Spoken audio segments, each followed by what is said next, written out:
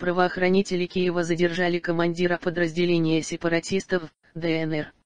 Оплот, который в ночь на 25 января открыл огонь по правоохранителям в Деснянском районе столицы.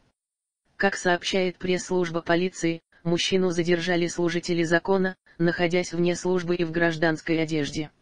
В ночь на 25 января в одном из заведений отдыха города вне службы, в гражданской одежде, без оружия находились офицеры полиции.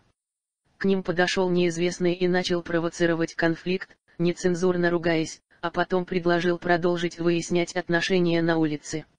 Уточняется, что преступник выстрелил в одного из полицейских, но произошла осечка. Тогда он пустил пулю другому полицейскому прямо в грудь.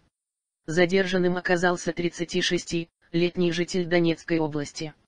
В полиции передают, что задержанный проходил службу в вооруженных формированиях самопровозглашенной, ДНР, и является командиром разведки подразделения, оплот.